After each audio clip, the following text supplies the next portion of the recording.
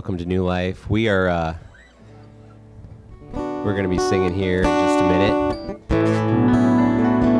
Um, I was tasked with picking out songs this week, and uh, Saturday I was thinking a lot about how what songs we would sing, and I wanted to do something that was kind of different. I wanted to kind of like highlight the process of salvation. And uh, when you think about getting saved and what the, the path was for each of us, it, it pretty much is the same. And what it starts with, it starts with God. It starts with Jesus, right? We can't save ourselves. There's nothing we can do of our own. And so the first three songs that we're going to sing today are about Jesus. Number one, he loves us. Number two, he sets the rules. He's an almighty, all powerful God, and it's his way and only his way. And number three, he makes a way. He made a way for us. And that's going to be what we start with today. So enjoy and listen as we sing this song, and then you'll join in with us as we sing King of Kings.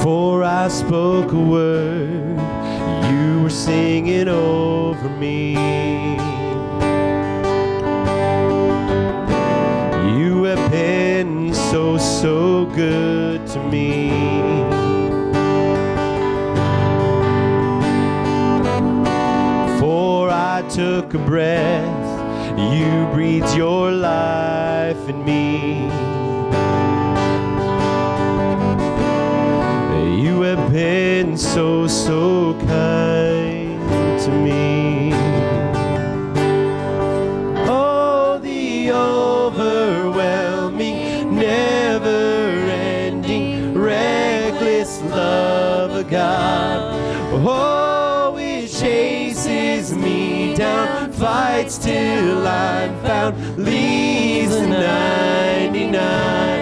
I couldn't hurt it, I don't deserve it. Still, you give yourself away.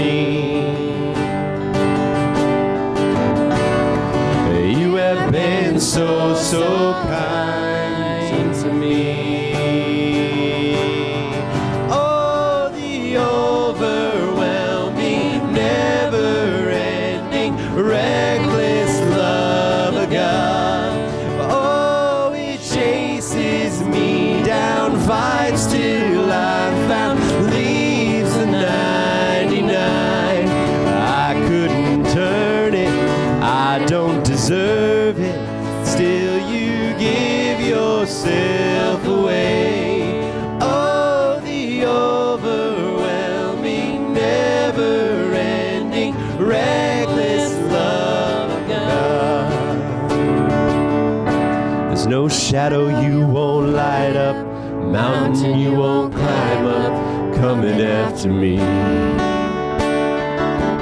There's no wall you won't kick down, lie you won't tear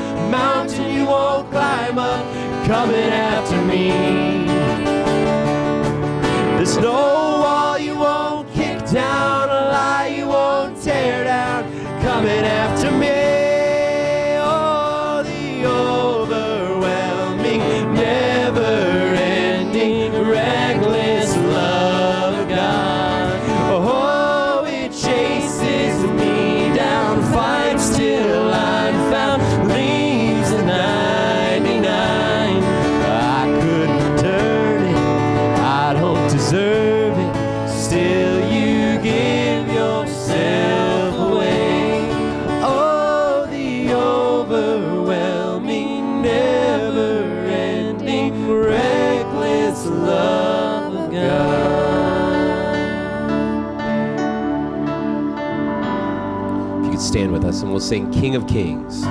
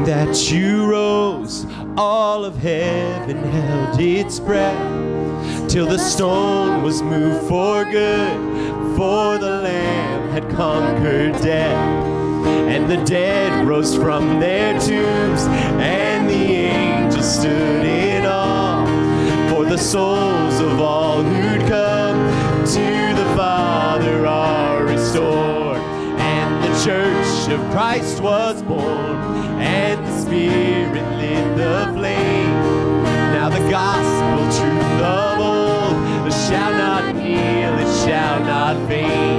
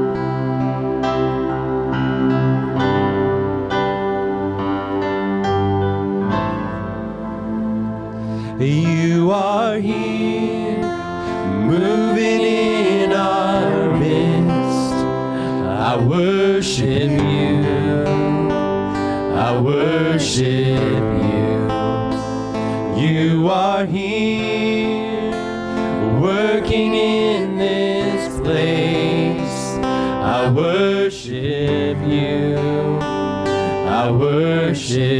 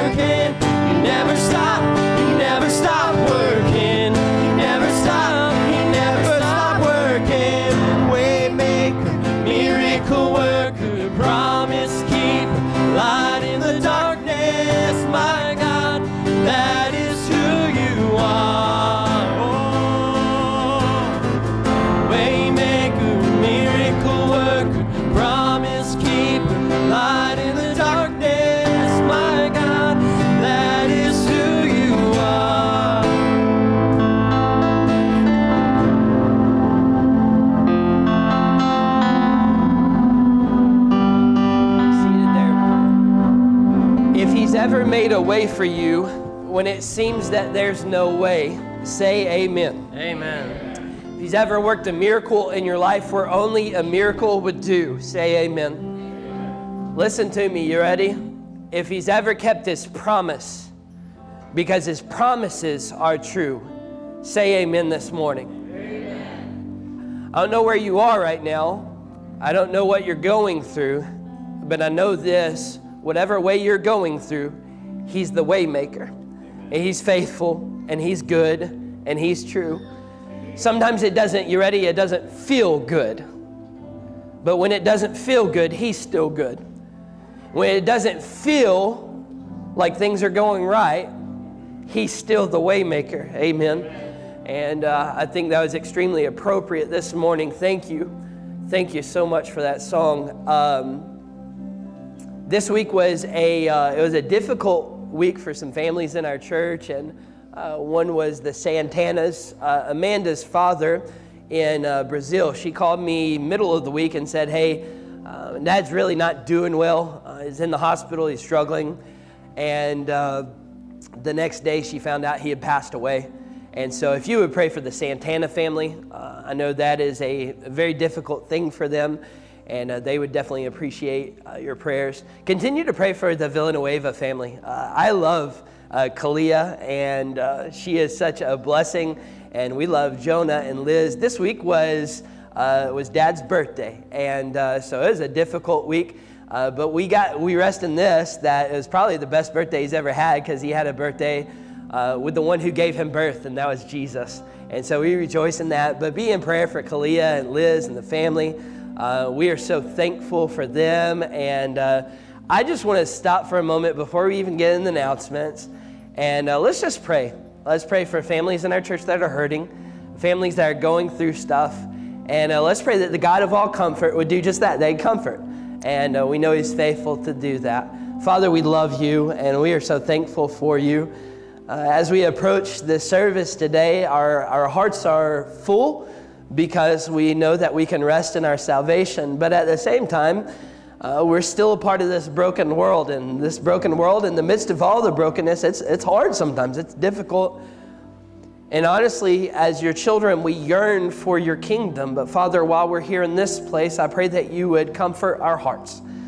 I pray that you would get glory to yourself through our lives and in moments and circumstances where we feel there is no way. I pray that we would look to you, God. You are the way maker. I pray that when we look at things and we see that there doesn't just seem to be anything happening, that we would rest in the fact that you, God, are accomplishing things we can't see. And God, I pray that we trust in you because you, God, are good. We thank you for Jesus. We thank you for the salvation we sing about. And this morning, I pray that if there's one here that doesn't know you as Savior, they're here and they've never placed faith in you. I pray that today would be that day that they begin a relationship with you, that their eternity be settled, and that they would understand the great friend that we have in Jesus.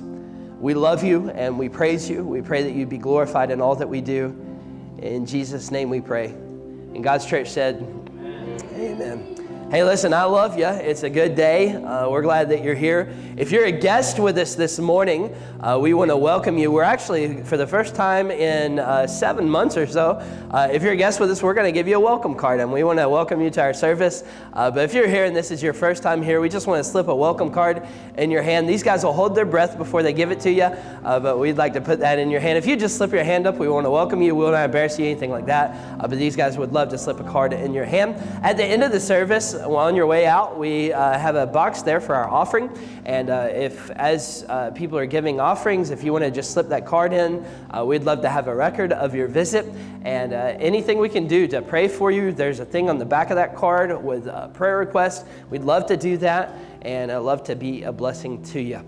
We are continuing our series this morning Minor Figures, Major Impact and I'm excited about that. I'm looking forward to that time together. Uh, we've gone through some great Bible characters and we've learned some great lessons. Uh, that'll continue this morning, and so we're thankful for that. Uh, don't forget to use social media uh, to invite your friends, your family to church with you. Uh, if you're here today, check in. Say, hey, I'm at church next week, come with me. And uh, I know that'll be a blessing to those around you. tonight, 6 p.m., our family service, and we're actually going to take part of the message from this morning. We're going to take a part of the text, a portion of the text, and we're going to look at that in depth and detail tonight at 6. If you're part of our church family, if this is your home church, I'm your pastor, this is your church, these are your people, uh, please be here at 6 tonight. I think this will be a great encouragement to you, and uh, I am excited about it, prayed over it, uh, just pumped about what the Lord has for us tonight. And so, 6 p.m. tonight, our family service, uh, please be here, be in your place. This Wednesday night, 7 p.m., small groups, and uh, we're excited about the teens, the young, uh, the young adults, adults, the kids, everybody this Wednesday night at 7 p.m. Listen, if your kids, if your teens, if they're not here on Wednesday night, they're missing out. Every week uh, in the kids department, Miss Mindy, Brother Trent, uh, they do a great job with our kids. This week, I got to teach the kids, and I was pumped because I got to play with balloons, and we pretended like we were walking around the walls of Jericho and our neighbors saw us walking around. We had, listen, we had an Ark of the Covenant, okay? And we were walking around the building and uh, we had a great time. We had balloons. The walls of Jericho, this is just a crash history course for you because I'm still excited about it. Walls of Jericho were about 30 feet high. Uh, how do you know that? They found them in 1929. They excavated the ruins of Jericho, so they're about 30 feet high. So I went to Dollar Tree and I got a bunch of helium balloons, right?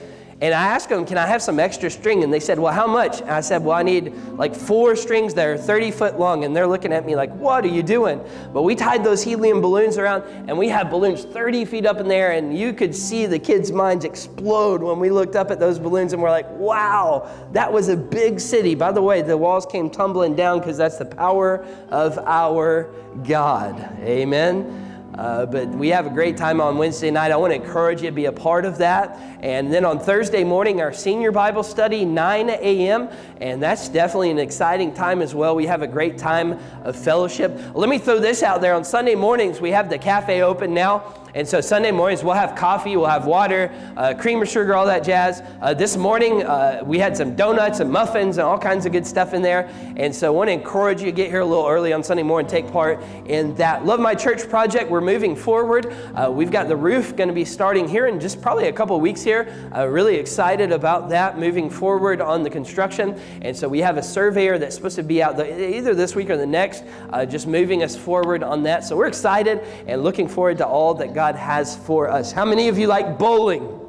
Raise your hand. How many of you are good at bowling? How many of you just like to throw stuff? Yeah, there we go. It's a good way to get out of aggression. Teen Activity Bowling Night, Saturday, October 3rd, uh, 7 p.m. If you have any questions and you are a teenager or have a teenager, uh, see Pastor Stephen in the back there after the service, and he'd love to give you more information about that. And then lastly, uh, not this Sunday night, but next Sunday night, uh, we are beginning a new Sunday evening series entitled Trust the Process. Trust the Process. And we're going to talk about developing daily disciplines as we walk with the Lord. If you are a new Christian, this would be a great series for you. If you are a old Christian, this would be a great series for you. Uh, it's going to be a challenge to daily walk with Jesus and what that looks like. Uh, salvation is amazing, is it not? Uh, salvation is when we meet Jesus, when we place our faith in Him, our eternity is settled. We have the Holy Spirit that enters into us. That's awesome, but we're still on this earth, right? In the process of growing closer to Jesus. We call that sanctification. And this series is going to talk about that process, the process of sanctification. And so I want to encourage you to be here. When is it? Sunday nights? What time? Say it louder. I can't hear you. Plus, I want to hold you accountable because I'll say, No, you told me it was six o'clock, right? All right. Man, I'm thankful you're here today, and I'm looking forward to a great day in the Lord's house. Uh, we're going to continue in worship in just a moment, but Brother Greg, you come on up here, and uh, he's going to pray for the rest of our service. Yellow mic there, uh, Zachary. Uh, how many of you like what you see around here? Amen and Greg, and the truth is, Robin is the one who does most of it, uh, but they've done a tremendous job. We're so thankful for them. So, Greg, you pray for us. Uh, Stephen, let's continue in worship. Let's pray. Lord, we love you this morning. We've heard uh, about some prayer requests here in our church family today loss and remembrance. We know there's a lot of burdens that weren't expressed here today. Well, I want to pray specifically for our pastor, for Brother Jonathan the reminder of the pressures, the stresses, the burdens that are shared with him all week long by our members here, and those burdens he carries. I pray that we'll carry those unknown burdens with him. Lord, you set up this, this system where you know everything and you can do everything, and yet you wait for us to ask. The responsibility falls back on us to admit out loud that you're all powerful, admit out loud that you're in control of everything and that we can do nothing without your help. So, Lord, help us to remember to pray for our pastor, for his wife as she tries to share the burdens that he's carrying as they lead us in the direction we're supposed to go. Be with our pastor today as he speaks to us. Be with the Sunday school teachers as they speak in the children's services. And I pray that you help us to open our hearts and our minds and that we'll leave here different than we came in with a different perspective, reminder of things we've known that we've let slip, or a new area to start working on, correct, to grow, become a better example of you to the world around us. Our world is definitely in turmoil today, and you are the peacemaker. You're all powerful. You know what's right, you know what's perfect. And as your followers, help us to be examples of that. Not examples of chaos, but examples of calm in the storm. We love you. We thank you for all you've done for us. Meet with us today in Jesus' name. Amen. As you stand and sing with us, the next couple songs we're going to sing are about our response in salvation. The first thing we have to do is we have to realize that we're a sinner. There's nothing we can do and we got to come to Jesus just as we are. Sing this hymn with us, Just As I Am.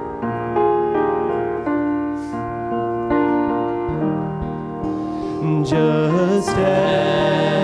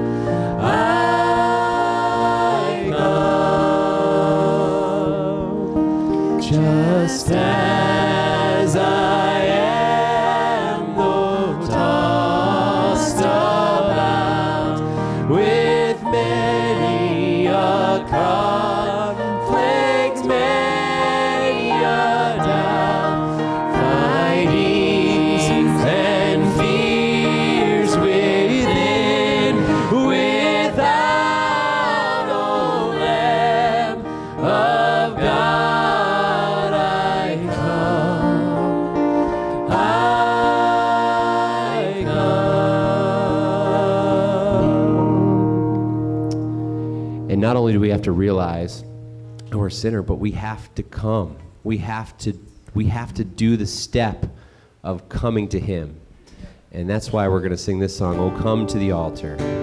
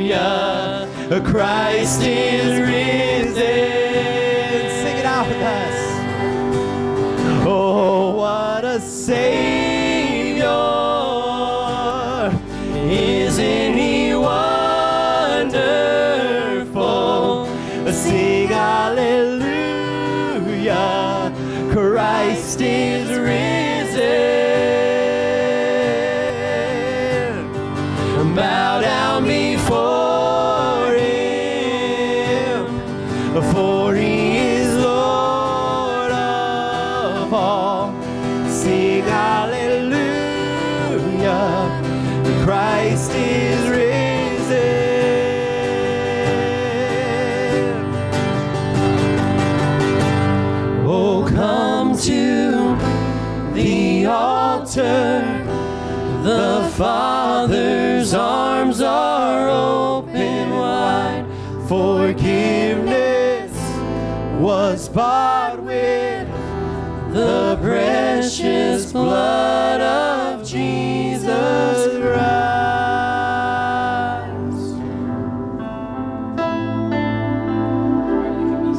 this morning. Thank you so much for your attention. Kids can be dismissed. Junior church, kiddos, you guys can be dismissed. You know, I was thinking about uh, what we sing there and what we uh, give semi apathetic acknowledgement to. uh, there are men and women in the Bible uh, and, and throughout history who died uh, for. You say, Jonathan, what are you talking about? Apathetic acknowledgement to the fact, yeah, Christ rose from the dead. Sure, sure. Look at a man this morning who gave his life for that thought. And uh, I'm just telling you, we have a lot to be thankful for. We have a lot to be grateful for. I'm thankful that when we come and uh, we sit and we listen to the Word of God, that we're presented uh, with God's Word. And I do my best to not give you my opinion or uh, my thoughts about matters, but I try to give you what the Bible says. Because the truth is, I have no th- authority apart from the Bible. I have nothing worth saying apart from telling you this is what God says. And uh, the Bible says in James, uh, James chapter number one, that and uh, be a hearer of the word, not a doer. He's like unto a man beholding his natural face in glass.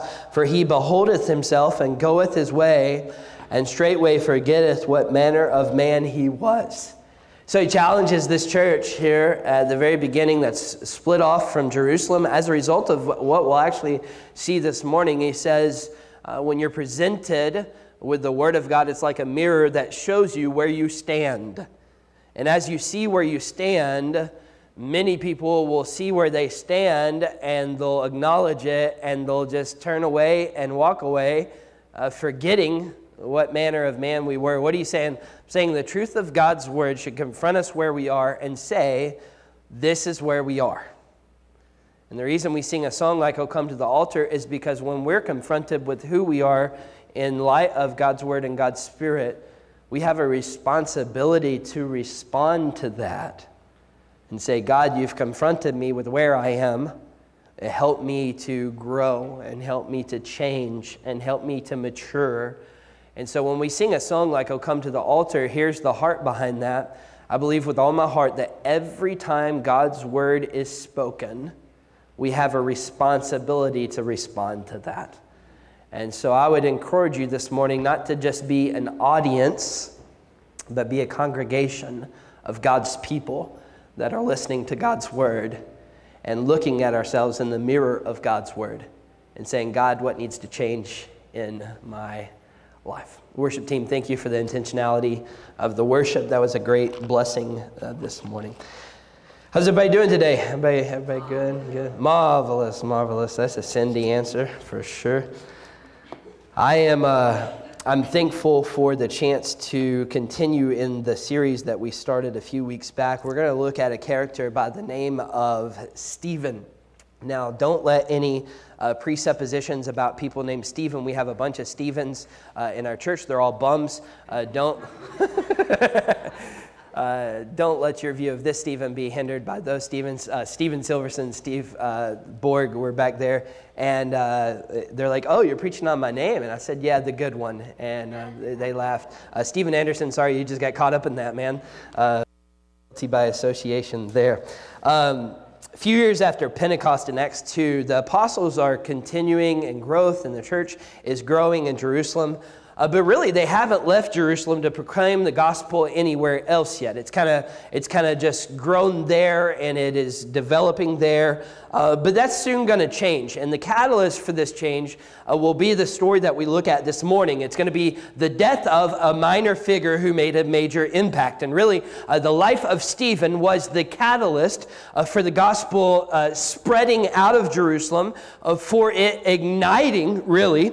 we see the letter from James. James was the pastor of the church at Jerusalem, writing to believers that had scattered from Jerusalem after what we see here in Acts 6 and 7. And so, really, uh, anytime that we see persecution in the Bible, we also see the gospel igniting and we see the gospel just spreading uh, because of persecution. And, and my prayer for our nation is that as we see persecution, and, and it, it almost feels, uh, it almost feels uh, cheapening to the word persecution to call what we're seeing persecution, but nonetheless, there is definitely a persecution uh, of Christianity right now. My prayer is that as we see uh, this happening, that the gospel would flourish, that Christians would rise up and be counted, that we would care about eternal things rather than temporal things, and that we would care more about eternity than November. Can I say that?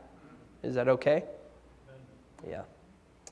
And so, my prayer is that persecution would just ignite a flame in America that would spread throughout our country and the world uh, for the cause of Christ. I was encouraged, by the way, yesterday to see in Washington, D.C., uh, thousands and thousands and thousands of people gathered together to pray uh, for our nation. I was encouraged to see our vice president stand there and talk about uh, our nation's responsibility to turn to God in times of chaos. And uh, man, I was encouraged uh, by that. And I believe that as a church, we have a responsibility to seek God's face. As a nation, we ought to do that and uh, I was tremendously encouraged by that. But nonetheless, persecution started here in Acts 6 and 7. We see that persecution igniting a flame uh, that really led to uh, tremendous, tremendous growth uh, in the church, in the kingdom uh, as well. In chapter number 6 of Acts, verses number 1 through 7, Luke uh, tells us that a group called the Hellenists started complaining about their widows that were being neglected in the daily administration administration or the charitable uh, uh, contributions of the church. And we'll talk more about who these people were in just a moment. Uh, and tonight, we're actually going to look at this a little more in depth as well. But Acts chapter 6, uh, verse number 1, if you're there, say amen. If you if you didn't say amen, you didn't look on the screen because it's right there. Uh, but Acts chapter 6, verse number 1, let's read down to verse number 7. And in those days, when the number of the disciples was multiplied, there arose a murmuring of the Grecians against the Hebrews because their widows were neglected in the daily ministration. Now, pause for just a moment. We're talking about in the early days of the church, we're talking about a mixed uh, congregations uh, of believers. We're talking about some uh, uh with a Hebrew heritage. We're talking about some with a, a Grecian heritage. Uh, uh, by reading what I can understand is there were something like 400 plus synagogues within Jerusalem. So there is a ton of different assemblies. Uh, some would believe that the Messiah had not yet come. Some would be groups of people that had placed faith in Christ. We'll see later on in, in the narrative, I think tonight actually, uh, we'll see that several of the priests uh, believed that Christ was the Messiah, and so there's tremendous growth there. But there's a multitude of different congregations within Jerusalem uh, and, and, just spread out according to location and whatnot. And so we have the Greeks, uh, the Grecians, the Hellenists, uh, and the Hebrews and they're, uh, they're having a, a, a, a, bit of a uh, battle here, really, about how things are going. Uh, Acts 6 2. Then the 12 uh, called the multitude of the disciples unto them. And so these would have been the leaders. This would have been a great congregation of those leading these assemblies and things like that, and said, It is not reason that we should leave the word of God and serve tables. Wherefore, brethren, look ye out among you seven men of honest report, full of the Holy Ghost and wisdom, whom we may appoint over this business. But we will give ourselves continually to prayer and to the ministry of the word. And the saying pleased the whole multitude. And they chose Stephen. And notice what the Bible says about Stephen a man full of faith and the Holy Ghost. And Philip and Prochorus and Nicanor and Timon and Pumbaa. It's not there, just kidding. Parmenas and Nicholas, a proselyte of Antioch whom they set before the apostles, and when they had prayed, they laid their hands on them. And look at what happens in verse number seven. And the word of God, what's the word? Increased, it grew, right? And the number of the disciples, what's the word? Multiplied. We like to see increase, we like to see multiplication, whether it's in our bank account. Can somebody say amen right there? Yes. Uh, within the church, with the gospel, we love to see a growth, do we not, right? And number of the disciples multiplied in Jerusalem greatly. A great company of the priests were obedient to the faith. Now let's take a look at some of the background here before we get into some of our observation. Really, what I'm going to do is I'm going to recap this whole scenario, and then we're going to take an in-depth, uh, a little bit deeper of a look at Stephen uh, here this morning. So Hellenists, they're Jews who speak Greek as a first language. Uh, they probably understood very little uh, Hebrew or Aramaic. They would have been Jews that had lived outside of, uh, of Palestine but had moved to Jerusalem at some point in their adult lives. Uh, Jesus grew up in Palestine, uh, Judea, Samaria, Galilee, and he spoke primarily Aramaic and Hebrew with Greek as a second language. Now, in this day, devout Greek speaking Jewish men would often move with their wives uh, to Jerusalem or the surrounding area so that they could live their final years uh, in the Holy Land near the temple. As it was, the husbands would uh, generally die first and they would leave behind widows who had uh, no nearby family to care for them. And that's where we see the, the command here and the dispute over the care of widows. Jews took it very seriously uh, to obey the biblical commands to care for uh, widows. And the way they would operate as groups of people, and this is prior to Jesus as the Messiah, this is just Jewish tradition. There were weekly and daily distributions to widows. According to researchers, the daily distribution typically consisted of food, so like bread and beans and fruit, uh, whereas the weekly distribution uh, was more like long term food and then clothing. So uh, immediate needs daily, uh, more long term needs uh, weekly. And the early church took this system that had been initiated prior to them, and they were uh, likely implementing the same sort of, of system, right? Which, by the way, let me just say this pure religion, the Bible tells us in James 1.27, always looks to meet needs of those less fortunate than ourselves, yes? Uh, meet the needs of those uh, that have them.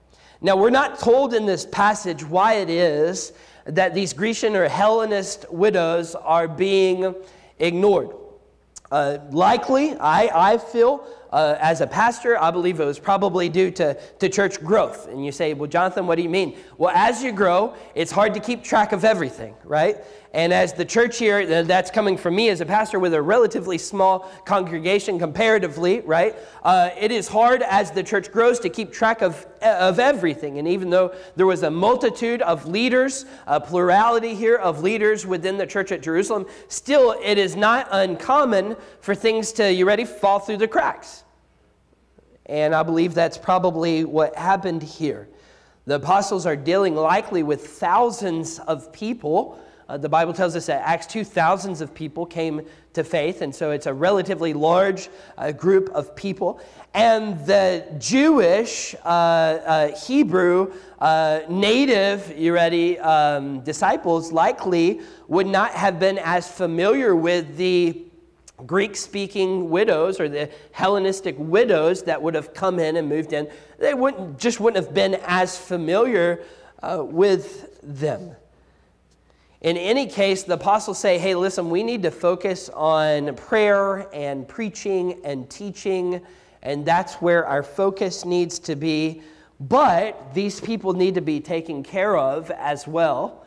And so they summon the apostles, the disciples summon the leaders of the different uh, groups of people there. They summon them together and they say, okay, from amongst you, uh, choose seven men that can take over the administration of the daily and weekly needs of the people. And that's what we see uh, in, in, in this passage in verse number six, uh, ver, or chapter, I'm sorry, chapter number six, verse number three. Wherefore, brethren, look ye out among you seven men of honest report, full of the Holy Ghost and wisdom, who we may appoint over this business. So they say, We have a need here. Let's meet this need. By the way, here, uh, this is kind of getting into what we'll talk about tonight. Uh, but there was a problem, and they said, Okay, there's a problem here. Let's nip it in the bud. Let's address the problem. And what was happening here, I believe with all my heart, is Satan was trying to destroy the church just as it was getting started by causing dissension among the congregation. And the apostle said, you know what, fooey on that. Let's, we have a need here. Let's fix it. Let's deal with it, whatever.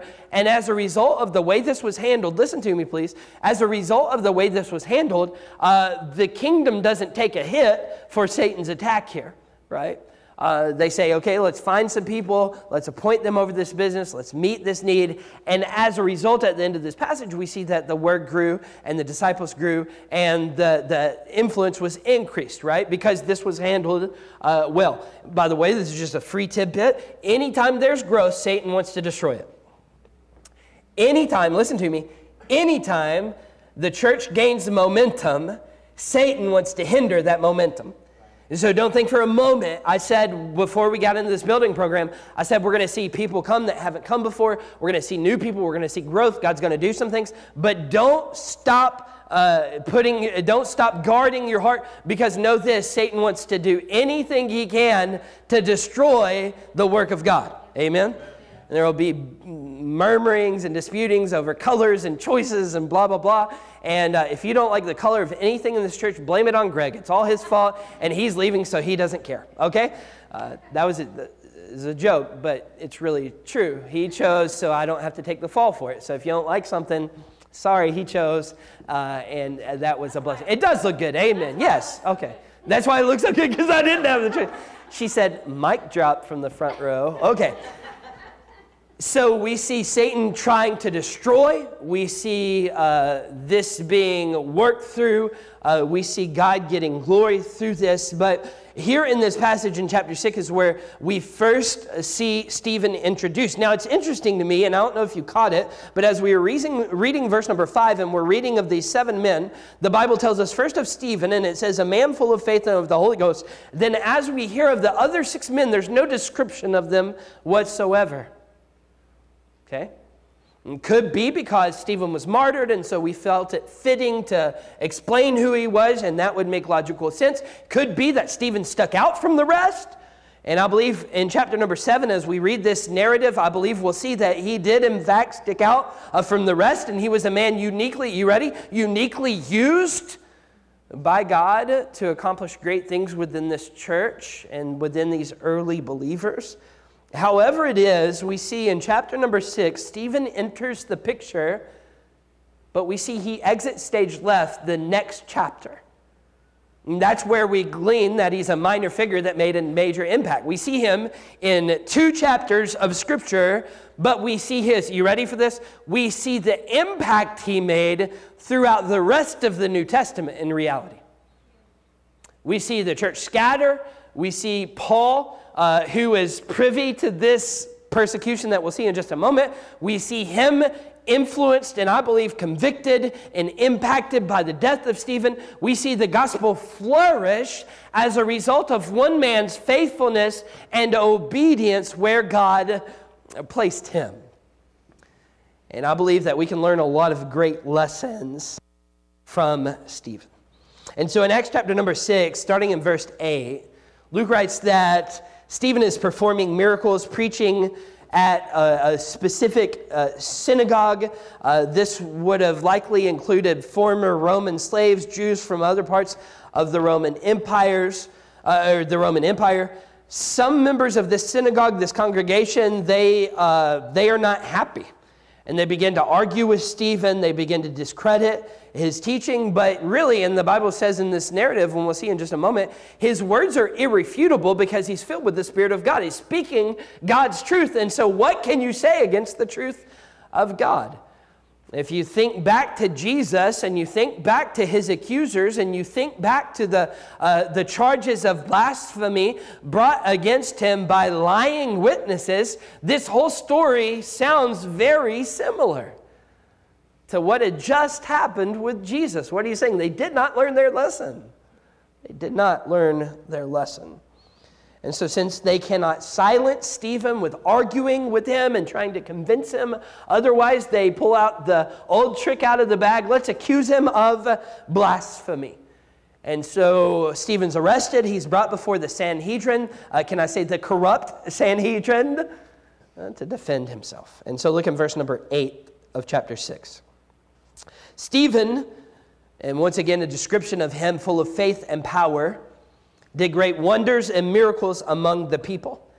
Then there arose certain of the synagogue, uh, synagogue, which is called the synagogue of the Libertines, and Cyrenians and Alexandrians, and of them of Cilicia and of Asia, disputing with Stephen.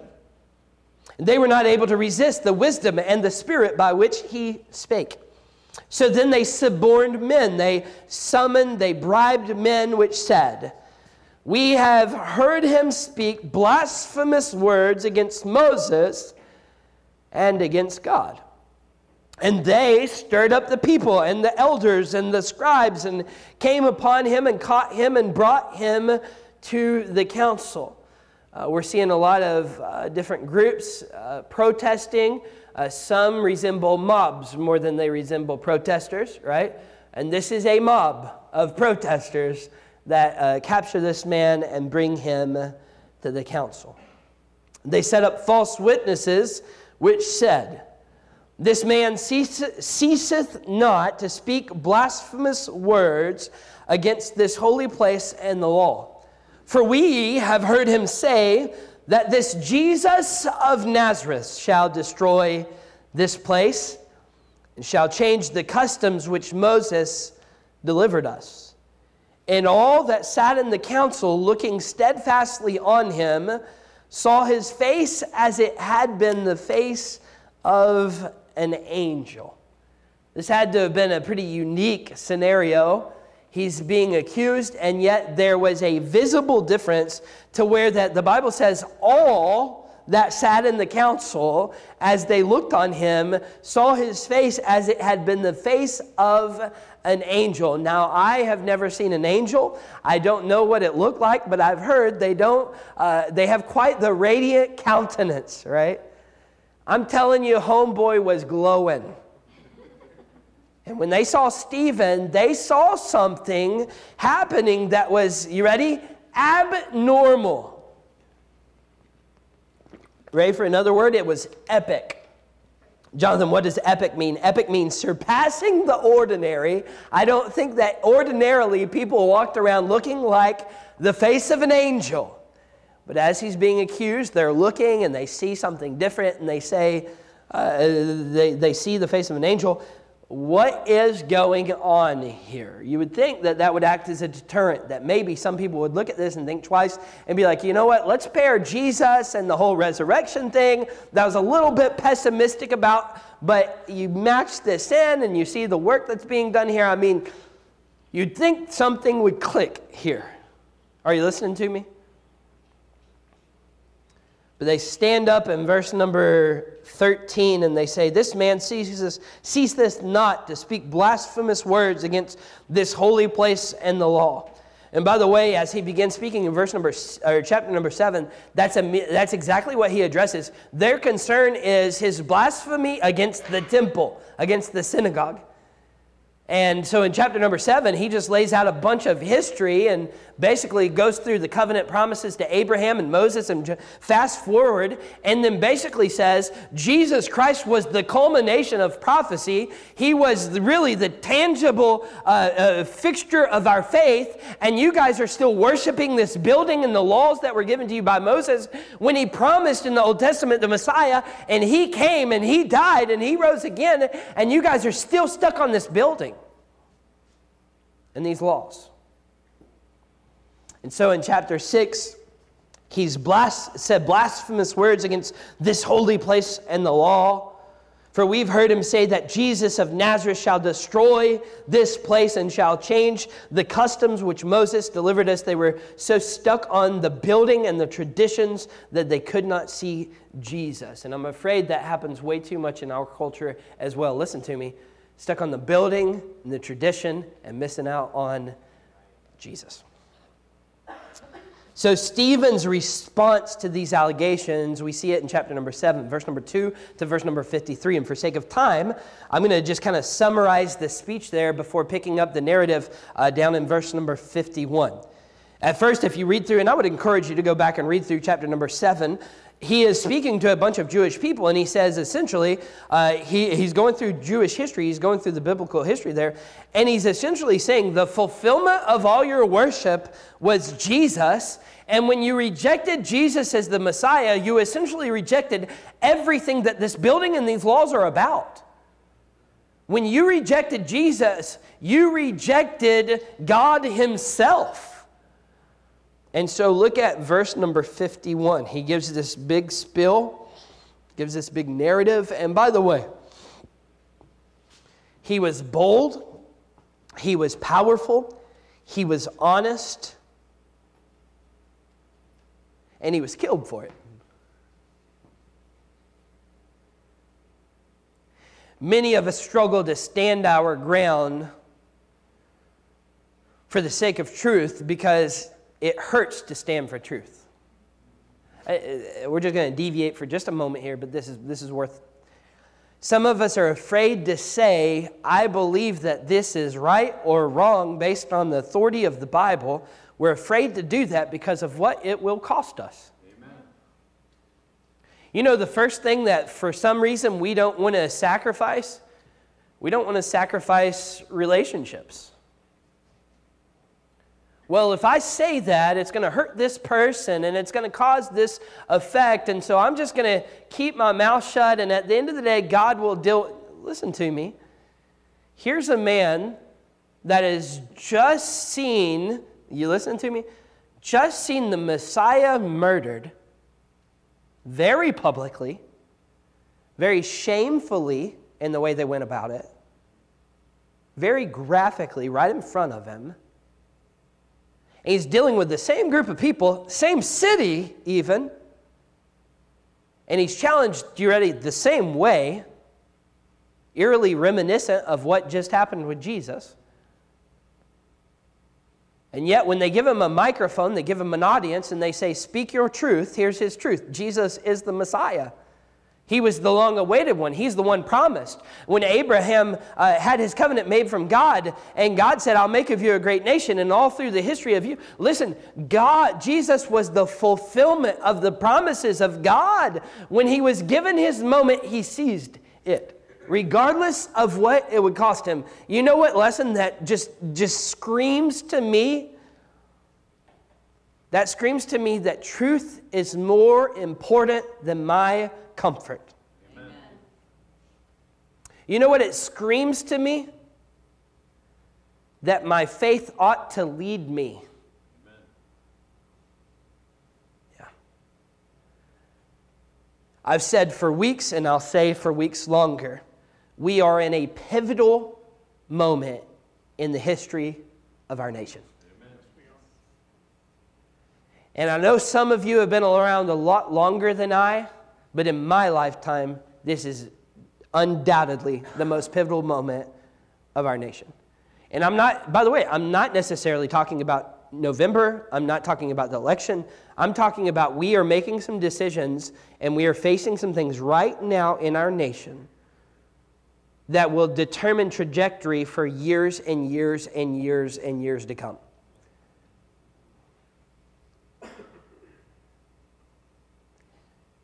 Right now is a time to stand up for what the Bible says is truth. Amen.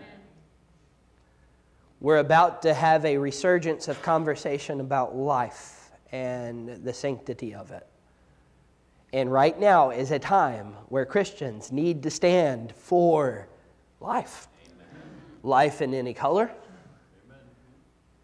life in any form, life. All right. And by the way, when I'm saying form, I'm not talking about aliens, okay? Okay. Life.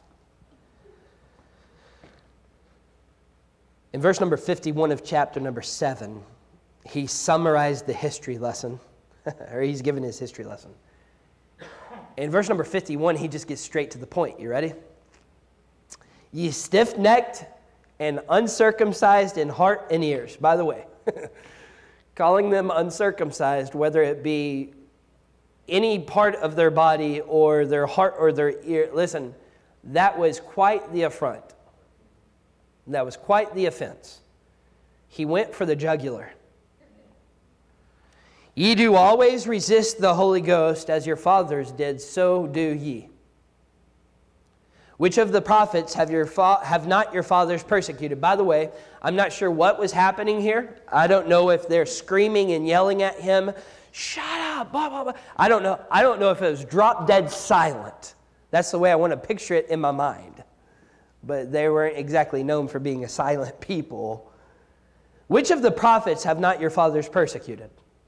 What he's saying here is how many men have come and spoken truth to you in times of national turmoil and you gave them literal hell for it. You gave them tremendous grief for it. They've slain them which showed before of the coming of the just one. He's saying, Those who prophesied, those who prophesied Jesus is coming, you slew them.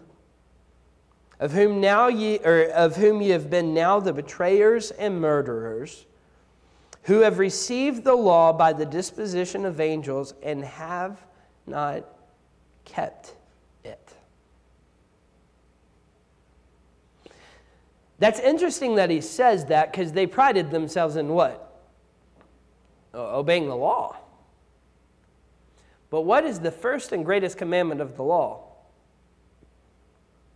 They were missing the first part. They were missing what Jesus came greatest commandment, and that was to love the Lord your God with all your heart, soul, and mind. They're saying you got, you got the tenets, but you missed what the law was about. And so, as he says this, he starts out with you uncircumcised in heart and ears. Whoa, who's he think he is? And he finishes with, You've received the law and you have not kept it. And that, my friends, is the straw that broke the camel's back. Verse number 44, or 54. When they heard these things, they were cut to the heart. They gnashed on him with their teeth. But he, being full of the Holy Ghost, looked up steadfastly into heaven and saw the glory of God and Jesus standing on the right hand of God and said, Behold, I see the heavens opened and the Son of Man standing on the right hand of God. We said verse 53 was the straw that broke the camel's back, but think about this. Stephen says, I see the Son of God, Jesus, the one you crucified, standing on the right hand of the Father. In their minds, he's attacking the very uniqueness of God by saying there's one standing next to him in heaven, the Son of Man. That's what Jesus was known by. That's what Jesus called himself, and others called him. And so he is attacking who God is by saying, I see God, and Jesus is next to him.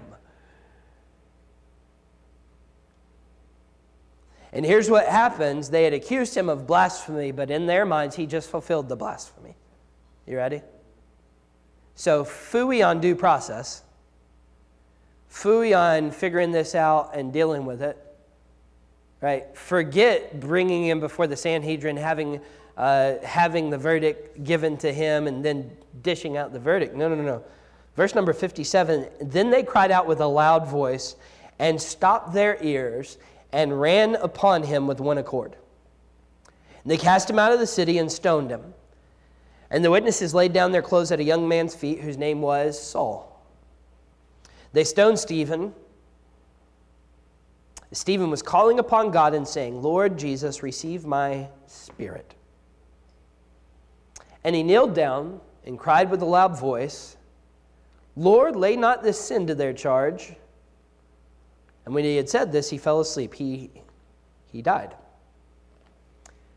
The Jews that are stoning him are acting exactly as their ancestors had. Their ancestors had persecuted and killed God's prophets. They themselves had persecuted and killed the Messiah. I have a feeling that Stephen probably had a lot more to say, but he never has the chance. The audience rages, loses their collective mind, charges upon him, takes him, and kills him.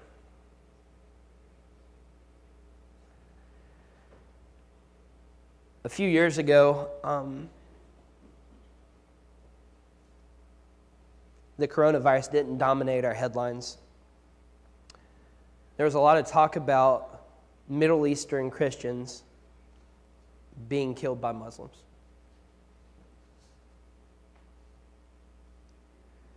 I remember, I don't remember how it was. I think I was on Facebook and something popped up that hadn't been censored. And there's a video of a person being stoned for their faith. And it came up and it popped up and it's there and it's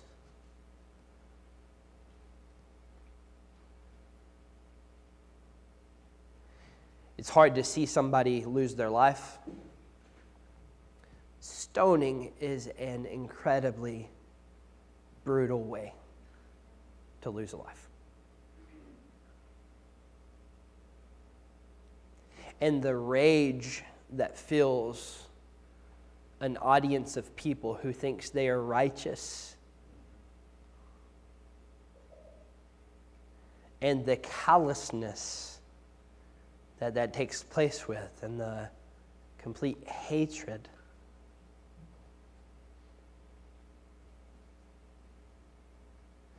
And in the middle of a hateful moment,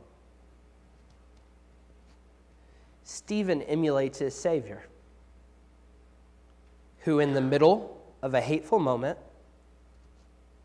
said, Father, forgive them, for they know not what they do. In this passage, Stephen, in the midst of being stoned, with many broken bones, with a broken body, with the last moments of his life, says, Lord, lay not this sin to their charge.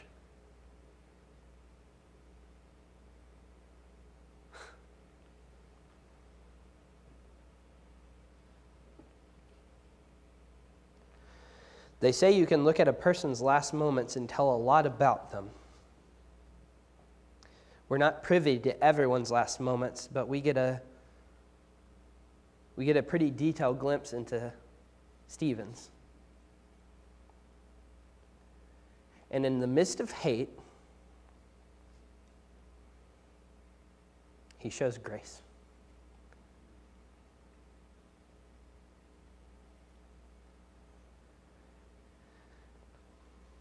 I think Christians could learn a lot from that.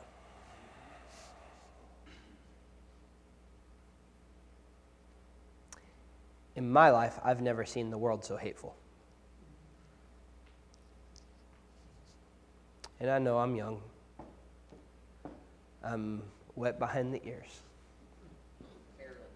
Barely. Easy, Cindy. You're, you're treading on dangerous ground today. Shh, Cindy, we know. In the midst of hatred, grace was shown. Can I tell you the reason he was able to do that in that moment is not because that was an abnormality in his life, but because that was normal for him.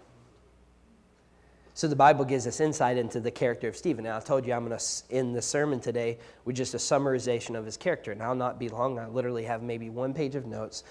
But let's look at the life of Stephen. What, what was his life? Number one, the Bible says he was full of the Holy Spirit. That was one of the requirements that was made by the disciples when they said, Seek ye out among you, right? Full of the Holy Spirit. And what I'm saying there is not a, Pentecostal experience. Like he's, he's just, it's a daily walk under control of the Holy Spirit. He was led by the Spirit, he was obedient to the Spirit the Bible says that that was evident in chapter number 6, verse number 10, when his opponents or his accusers couldn't cope with his wisdom and the spirit which he was speaking. The power behind his speech, it came from the Holy Spirit. Now, here's the crazy part. You ready? Jesus had told his disciples back in Luke 12 that they would be delivered up before synagogues and rulers. And that in that moment, the Holy Spirit would teach them what they had to say. I want you to hear this. Luke chapter 12, Jesus speaking to his disciples. And I say unto you, my friends, be not afraid of them that kill the body and after that have no more that they can do. But I will forewarn you whom ye shall fear. Fear him which after he hath killed hath power to cast into hell. Yea, I say unto you, fear him, fear God. Are not five sparrows sold for two farthings? and not one of them is forgotten before God. But even the very hairs of your head are all numbered. Fear not, therefore, ye are of more value than many sparrows. Also I say unto you, whosoever shall confess me before men, him shall the Son of Man also confess before the angels of God. But he that denieth me before men shall be denied before the angels of God. And whosoever shall speak a word against the Son of Man, it shall be forgiven him. But unto him that blasphemeth against the Holy Ghost, it shall not be forgiven. And when they bring you into the synagogues, unto the synagogues, you ready? and unto magistrates and powers. Take not take no thought how or what thing ye shall answer, or what ye shall say, for the Holy Ghost shall teach you in the same hour what ye ought to say. What are you saying? I'm saying that as he's standing here and he's defending himself, he did not rehearse this. He did not have it written down aforetime. He had given no thought to it. I'm saying in that moment, the Spirit of God gave him the words to say. Jonathan, where do you get that? The Bible, Acts 7:55. But he, what's the words? Being full of the Holy Ghost. The Bible tells us that in that moment he was full of the Holy Ghost. Listen to me, that wasn't the first time. And the Bible says the fruit of the Spirit, the fruit of being filled with the Spirit love, joy, peace, patience, kindness, goodness, faithfulness, gentleness, self control. Those are not produced overnight. Those are not produced by some Pentecostal experience. They're produced over months and years of obedience to the Spirit of God. They're produced by spiritual disciplines and spiritual habits. They're produced by obedience to the Spirit. This, this series that will start on Sunday night in two weeks, uh, Trust the Process. It's the process of saying yes when God says yes, or saying no when God says no. Stephen was a man accustomed to being filled with the Holy Ghost. Why? Because he was obedient to Him. And, and the fullness of the Spirit, that is, that is progressive maturity. As we grow, we are filled with the Spirit of God. He was full of wisdom. In chapter number six, verse number three, that was one of the other requirements. It's funny, the Greek word for wisdom is only used four times in Acts. They all take place in chapter six and seven. Two of them describing Stephen, and twice in his message before the Sanhedrin. Wisdom comes from a Hebrew word, it mean, meaning skill. It's used of a craftsman who, who had the skill to make the tabernacle, the furniture that went in it. It's the skill to live a life that's truly beautiful. It's right conduct in obedience to the will of God, not just mastering a body of knowledge. Eh, there's a difference in knowledge and wisdom. Wisdom is application of knowledge. He was also full of faith. Full of faith. Jonathan, how do you know he was full of faith? I'm glad you asked. The Bible tells us. but chapter number seven is a beautiful picture of his faith. He defends it. He says, from the beginning, he begins to recap the history. He essentially gives his belief system. He says, This is how I came to the point where I put my faith in the Messiah. This is where my, my belief system has developed. Chapter 7 is a defense of his faith. It's an, what's, what's known as an apology of his faith. Chapter number 7. And he's standing here knowing that this will likely cost him his life, and he's still showing faith. And then the last thing we said as we were jumping into these descriptions of Stephen was that he was full of grace. The Bible says that Jesus was full of grace and truth in John 1:14. Jesus was in fact God's grace personified.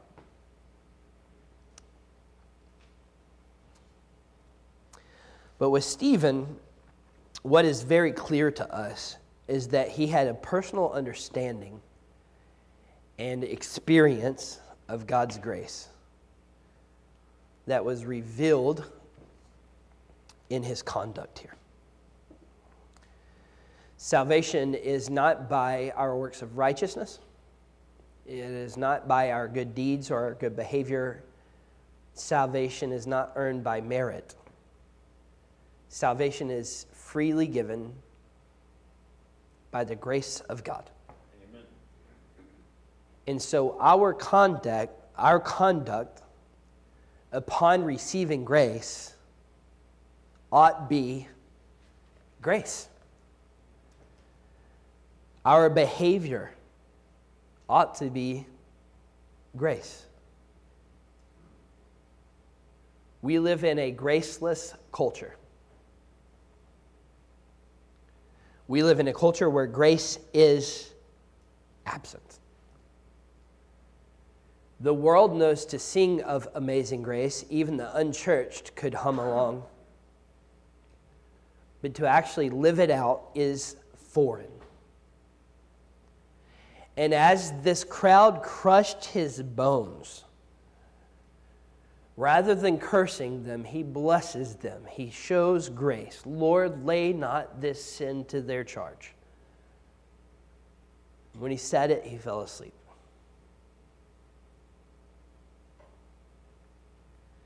Can I tell you one of the most beautiful testaments of God to an unbelieving culture is grace? Stephen, you can come if you would. I said at the beginning of this message in introduction that the life of Stephen was a catalyst into the growth and development of the church It was a catalyst for persecution. I said Stephen was a minor figure who made an, a major impact to further that thought and just establish that thought. The Bible tells us that at the end of chapter 7 that there was one who held the coats or kept the coats. Tradition would tell us that typically that would be the prosecutor, the one who would bring charges. That man's name was Saul. Saul, we know, later encounters God on the road to Damascus, uh, dramatically converted, spends some time learning, and then dedicates his life to turning the world upside down for the gospel, yes?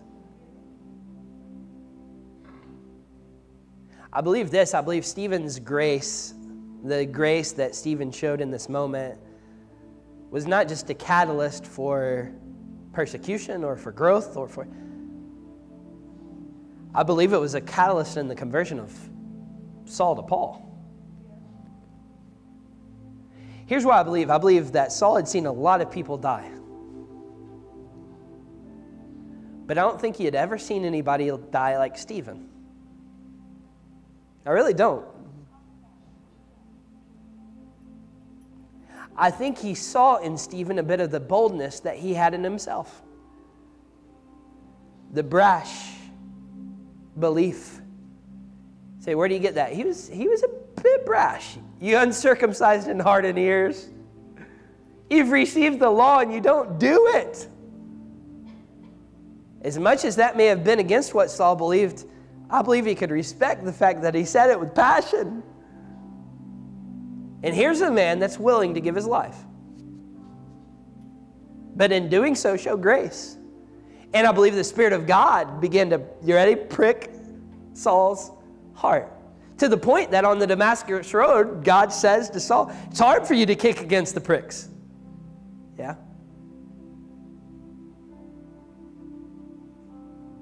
I believe they never lost sight of that face. And Stephen's eyes were on Jesus' face. The reflection there. Saul saw Jesus in Stephen. You hear me? His demonstration of grace showed Christ. So, Jonathan, what are you saying? I'm glad you asked. Let's bring it home. You ready? Let's land the plane. Landing gears down. In a world full of hate, grace stands out. Grace doesn't mean we sacrifice truth. If you look at this story, truth, very evident, but seasoned with love and grace. I, uh, I hate Facebook now. Like, hate it. Really, really hate it. Because Facebook's a bunch of feelings. And feelings aren't normally true. Everybody expressing their feelings, and some people's feelings, man, they're, they're grounded in biblical truth and they're grounded in grace and they're grounded in whatever. And some people's feelings are just, they're, they're brutal. You ready? lately I have some Facebook friends that have just gone to war on Facebook against churches and pastors that are soft. That's, that's what they call them. They're soft. Tickle ears, right? All they want to talk about is love and grace and good. Listen to me. My heart, every time I open this word, is to give you truth unadulterated. And as much as you may feel I'm soft sometimes, I tick some people off sometimes. there are people that do not like what I say. But my heart is to take truth and incorporate grace every time I speak. Because that's what I see here. Jesus was very truthful. Jesus was confrontational. Jesus was in your face, tell you what you don't want to hear, confrontational. But his spirit was grace. What does the world need today? Truth, grace.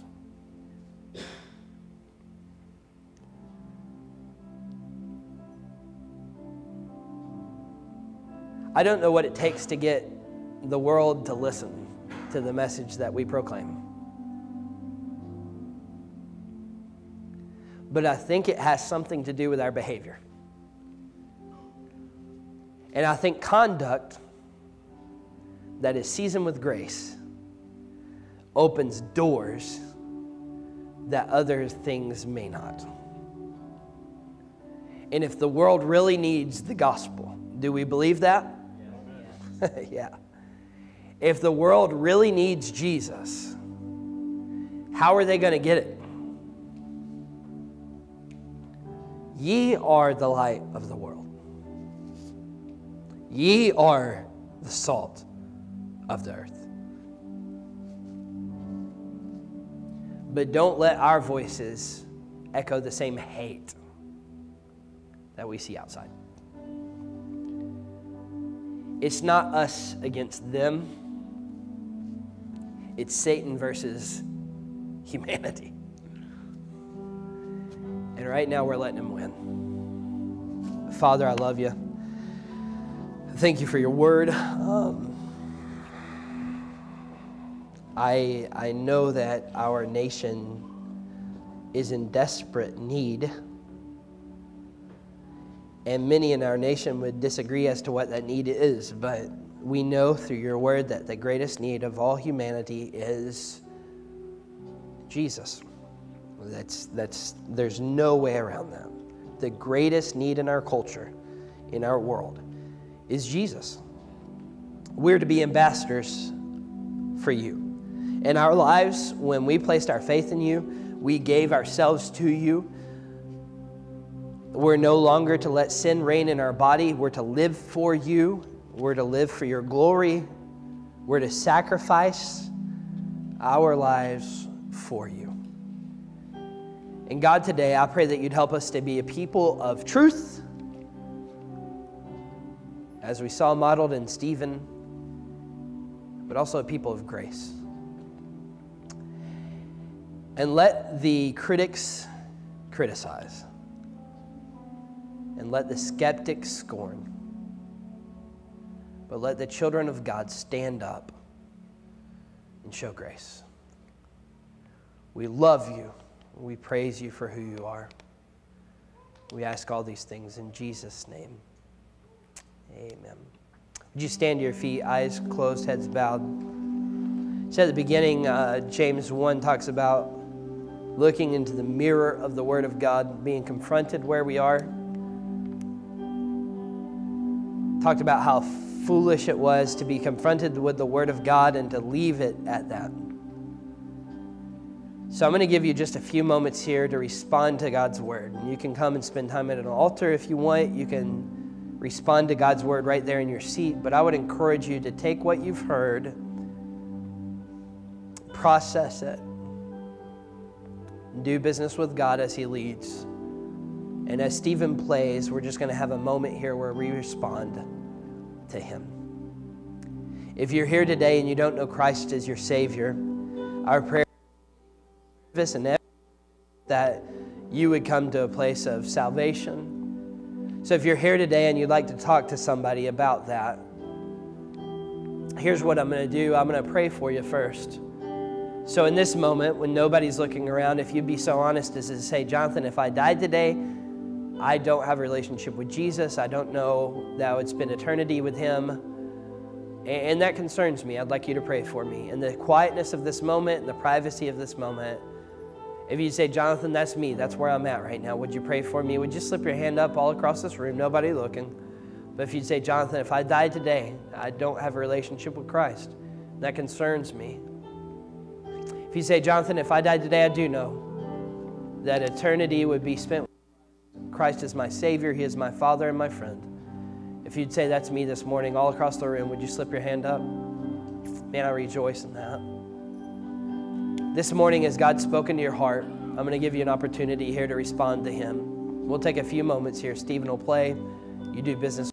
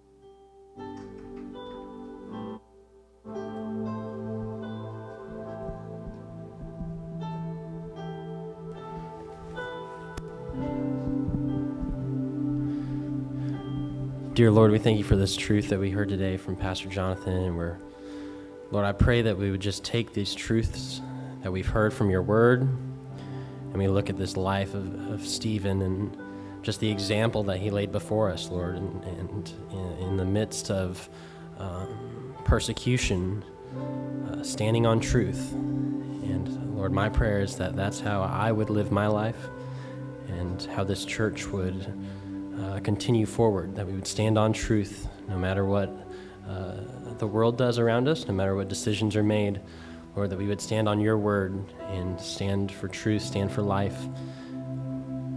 Lord, I pray that we would be able to do it with grace and with love, um, and that the, the world around us would see the light of you and your grace through our lives. We ask all these things in your name, amen. We're going to sing one more song. We're going to sing Resurrection Power, and then we'll be dismissed for the day.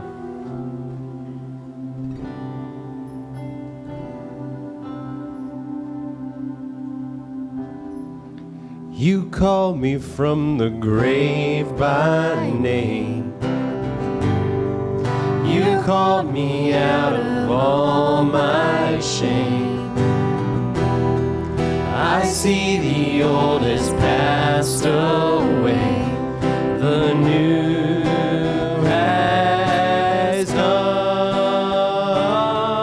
Now I have resurrection power living on the inside, Jesus.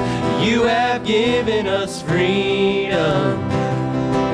No longer bound by sin and darkness living in the light of your goodness. You have given us freedom. That I'm rest in your loyalty.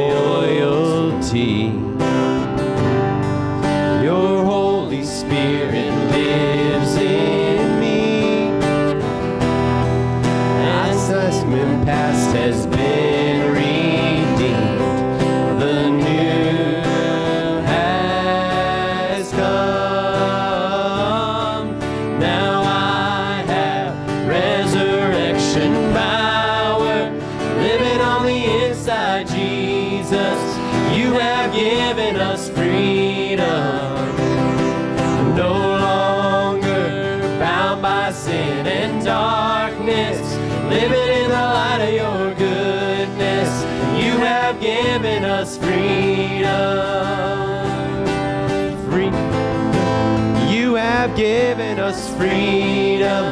You have given us freedom. My chains are gone. Oh, freedom. You have given us freedom. You have given us freedom.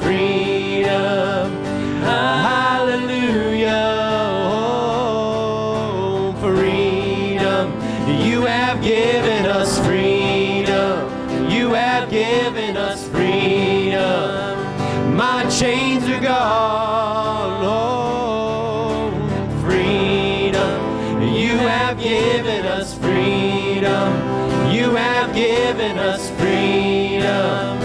Hallelujah. Resurrection power living on the inside.